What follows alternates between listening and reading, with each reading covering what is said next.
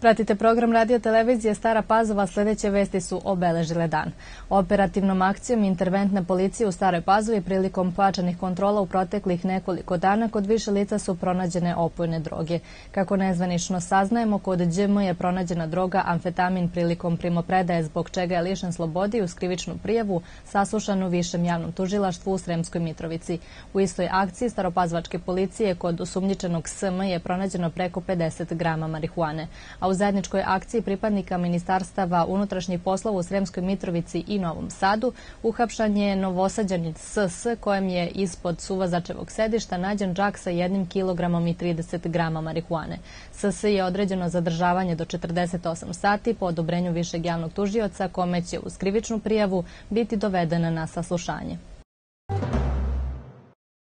Predsednik Aleksandar Vučić nastavio je kampanju Budućnost Srbije posetom Jablaničkom okrugu. Prvo je obišao Vlasotince, a potom i opštinu Bojnik. Vučić je tom prilikom povodom pretnji iz Prištine poručio da će Medveđa i Sijarinska banja ostati Srbija i da će država u taj deo zemlje ulagati sve više novca. Takođe najavio gradnju više puteva od značaja za Jablanički okrug, ali i put preko Radan planine koji će povezati Jablanički i Toplički okrug. Srbija je jedan od najvećih investitora u Republiku Srpsku, a postoji još prostora za unapređenje saradnje, posebno u oblasti energetike i saobraćene infrastrukture, rečeno je danas nakon desete zajedničke sednice dve vlade Srbije i Republike Srpske u Beogradu. Na sednici je potpisano nekoliko memoranduma i sporazuma, među kojima memorandum o saradnji u oblasti tehnološkog razvoja i digitalizacije, memorandum o razmeni iskustava u oblasti inspekcijskog nadzora, sporazum o saradnji u oblasti evropskih integracija i drugi. Zapošljavanje i samozapošljavanje u ovoj godini bili su tema druge sednice Privrednog saveta opštine Stara Pazova koja je održana u velikoj sali Bele zgrade na kojoj su predstavljeni javni pozivi i aktivne mere politike zapošljavanja Nacionalne službe za zapošljavanje i promovisani programi i mere lokalnog akcijonog plana za zapošljavanje. Oko 50 nezaposlenih lica tokom prošle godine dobilo je posao ili je započelo sobstveni biznis u opštini Stara Pazova zahvaljujući programima i merama lokalnog akcijonog plana za zapošljavanje i istaknuto je na drugoj poredu sednici Privrednog saveta ove Sremske opštine. Ove godine iz lokalnog budžeta za ovu namenu opredeljeno je 9,5 miliona dinara kojim će se finansirati četiri mere. Subvencije za zapošljavanje i samozapošljavanje teže zapošljivih kategorija, zatim program pripravnika i sajam zapošljavanja. Pored toga na sednici su predstavljeni javni pozivi i aktivne mere zapošljavanja Nacionalne službe za zapošljavanje.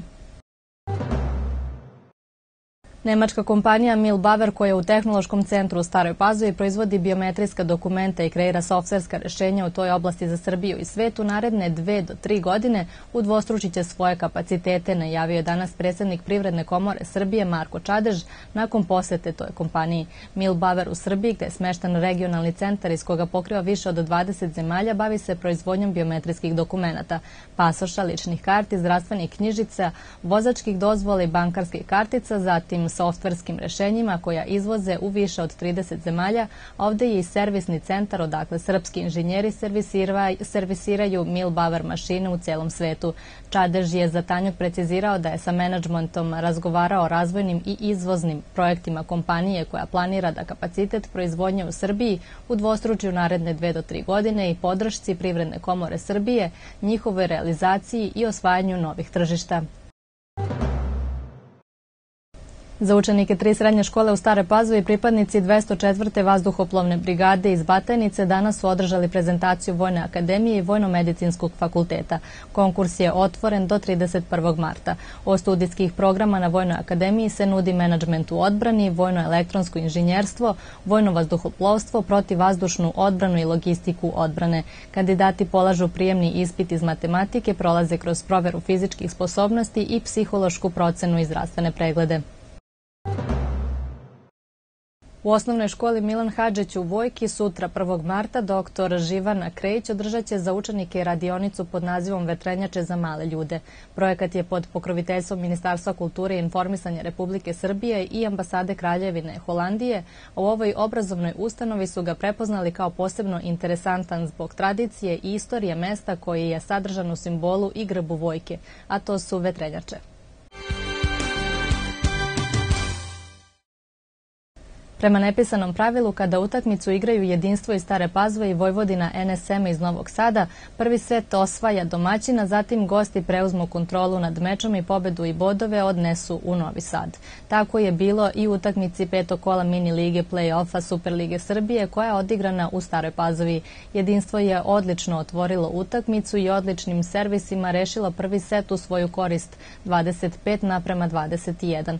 Odbekaši Vojvodine NSM privikli su se brzo na ambijent i halu i stabilizovali prijem, a potom pokazali raskošni servis koji posjeduju dovoljno da osvoje drugi set sa rezultatom 19 naprema 25. U trećem setu je viđena neizvesnost do pred sam kraj seta, međutim opet u ključnim momentima gosti pokazuju zašto su zaslužno na prvo mesto na tabeli i osvajaju i treći set sa rezultatom 22 i 25. Dominantnu igru pokazali su i u četvrtom setu koji je za njih bio rutinska stvar i tako su ostali na liderskoj poziciji na tabeli.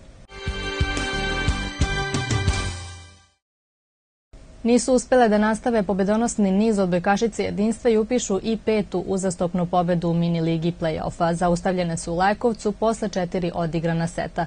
Od Bekašice železničara imale su imperativ više pred svojom publikom da nanesu prvi poraz staropazovčankama, a u tome su uspela, ali tek nakon teške borbe u prva tri seta.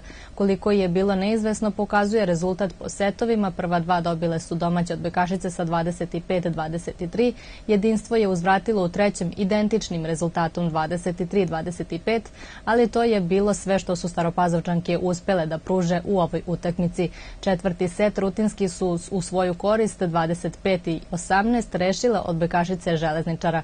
Uprko sporazu u Lajkovcu od Bekašice jedinstva i dalje su lideri na tabeli nakon pet kola, obzirom da je Crvena zvezda porežana u Abrenovcu od ekipe Tenta sa 3-0 u setovima.